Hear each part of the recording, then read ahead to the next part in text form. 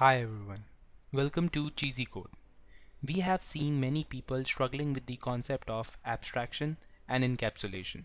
So this is our take on this to help you understand it well. So what is abstraction?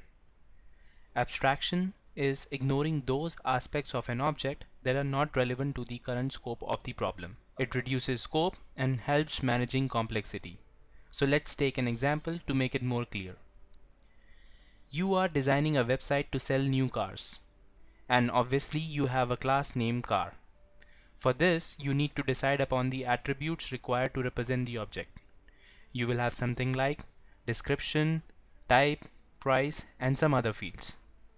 In the current scope, you are selling a new car.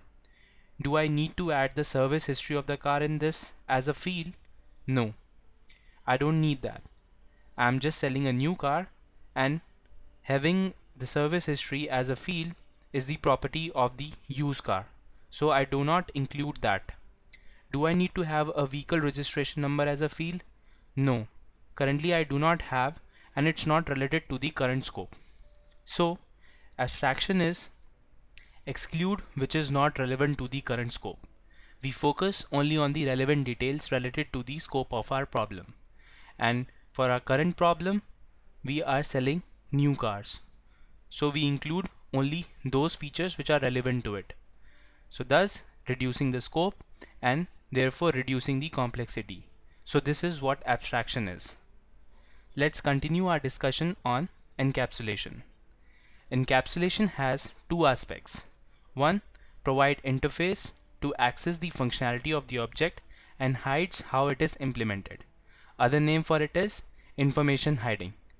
Second one is the keep the attributes and behavior as one unit. It helps to make the module more independent. So let's take an example for this.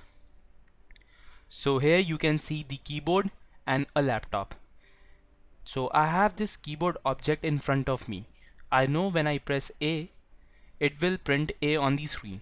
I don't know how it is implemented. I have this interface of keys exposed to me, but its implementation is hidden. This is where encapsulation is. So what's the benefit of encapsulation? I can change its implementation later if I find a better solution or just for maintenance or to tweak a functionality.